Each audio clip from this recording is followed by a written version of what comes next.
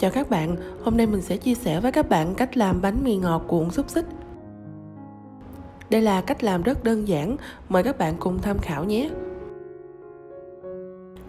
Đầu tiên là mình sẽ dùng 250g bột mì số 13, thêm 30g đường, 3g men nở và 4g muối, sau đó mình trộn đều cái hỗn hợp này lên.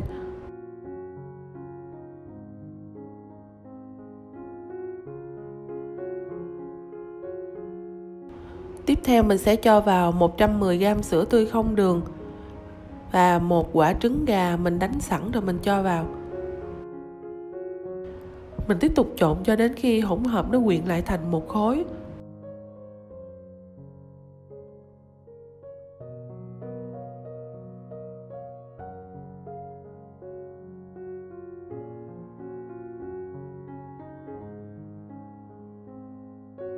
Sau đó mình sẽ cho 30g bơ lạc vào.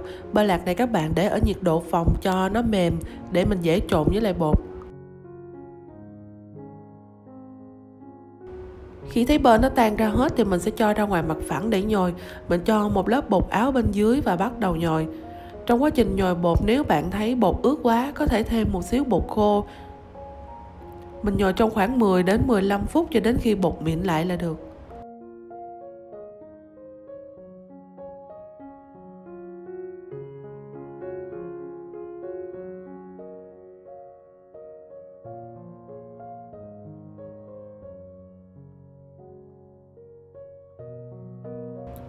Mình nhồi sau khoảng 15 phút thì bột đã mịn như vậy.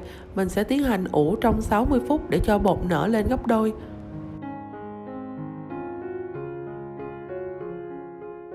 Sau một tiếng ủ bột thì bây giờ mình sẽ bắt đầu chia bột và tạo hình. Với công thức này thì mình sẽ chia làm được 6 cái bánh.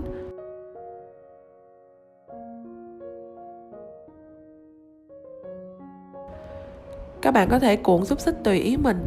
Ở đây mình sẽ dùng cách đơn giản nhất, đó là mình gấp các mép bột lại với nhau, sau đó mình sẽ cán cho mỏng ra theo hình chữ nhật.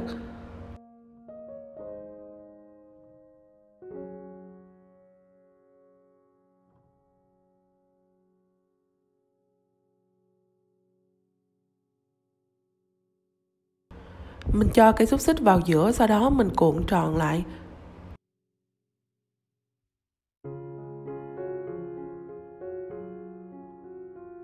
Mình gấp chặt cái mép bột lại để cho nó không có bị bung ra.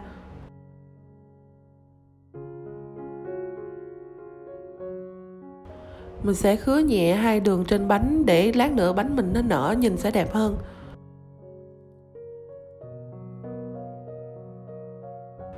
Tạo hình xong thì mình sẽ ủ lần hai trong 45 phút. Mình dùng một quả trứng gà để quét lên mặt bánh. Sau khi nướng bánh mình nó sẽ có màu vàng rất đẹp.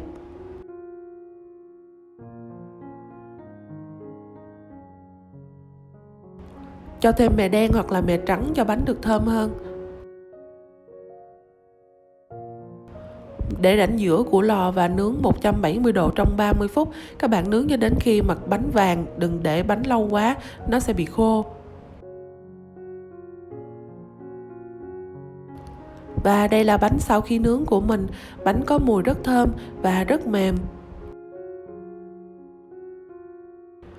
Đây là công thức rất đơn giản và dễ làm, đúng không các bạn? Các bạn hãy cùng làm cho gia đình mình thưởng thức nhé. Cảm ơn các bạn đã theo dõi.